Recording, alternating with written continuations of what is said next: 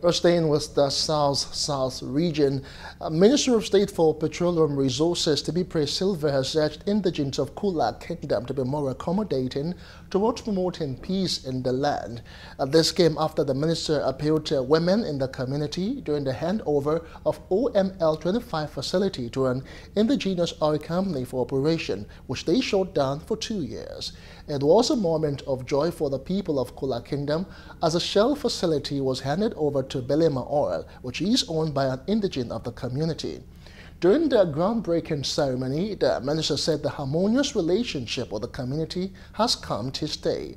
The group managing director of the Nigerian National Petroleum Corporation, Mele Kyari, said the immediate priority of government is to ensure peace lasts in the community to help bring development.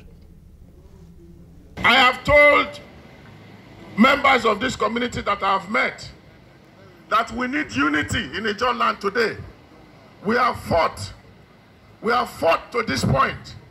And the federal government at least has started looking our way. It is time for us to change strategy and to ensure that we begin to bring the benefits of investments to our community.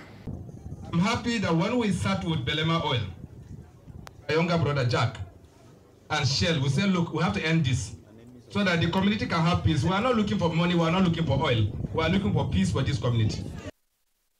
Now, the founder of Belema Oil, Jack Rich Tein, and the traditional ruler of Kula Kingdom thanked President Muhammadu Buhari for listening to the yearnings of the people, as it shows his concern for the well-being of the Niger Delta region.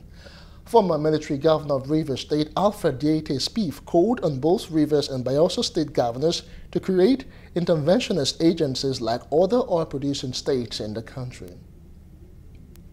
You can say for sure that the community is happy. Uh, if, if you can see that the whole youth are very happy because they're going to have jobs. I mean, if we fail to put a platform that enables, you know, business to thrive in this part of the country, then we have a major challenge. You know what I'm trying to say? It's an important project. Uh, the president is very happy about the community. The president has really helped us. He has encouraged me to help the communities, and we're also doing a lot for other $90 communities. Today, the OML 25 has been reopened.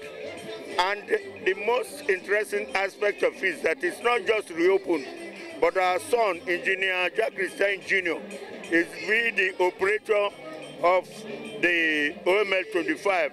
They have their license quite all right, but we're in charge of maintenance, employment, and everything. Oh, we're all very happy. Um, the nation needs the oil at this time, and um, it's good that decisions are taken positive decisions, and the government has shown that it's got a, a listening ear and has taken this bold step, and we're all here to celebrate it.